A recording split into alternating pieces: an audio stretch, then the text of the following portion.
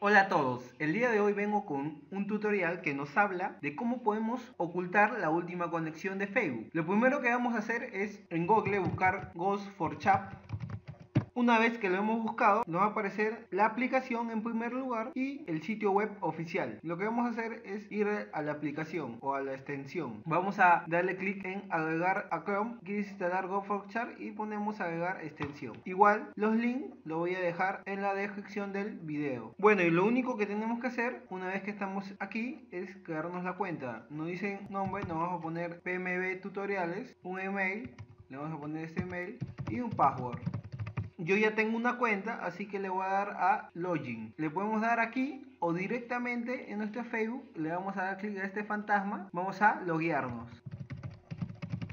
Le damos clic en Sign Up y ya estoy logueado. Ya saben que todas las cosas las voy a dejar en la descripción del video, todos los links. Y aquí nos hablan de dos modos. Ghost Mode significa que el chat va a estar desactivado y un sin mensaje significa que vamos a bloquear la recepción de mensajes. O sea que no van a poder leer la hora de nuestra última conexión ni cuando hayamos leído el mensaje. Activamos, si activamos Ghost Mode se activan automáticamente ambas opciones. Pero si activamos un sin mensaje solamente se activa esa opción. Con esto, con la segunda opción lo que vamos a tener es que vamos a poder leer los mensajes, pero no va a salir el famoso mensaje de leído a tal hora. Nos dicen que va a esperar en 6 días. Para que esto de 6 días no te afecte, lo único que vamos a hacer es ir a configuración. Aquí en la parte de configuración va a haber personas. Por ejemplo, la mayoría tiene solo una, una persona, pero yo tengo tres. Puedo seguir creando más personas y instalando en cada una de las personas este Go for Chat. Así nunca se me va a acabar esta opción. Si alguien no entiende, me lo deja en los comentarios y tal vez en un nuevo video les estaré hablando de la utilidad de tener varios usuarios en Google Chrome. Bueno, esto ha sido todo por el video, espero les haya servido. Hasta luego.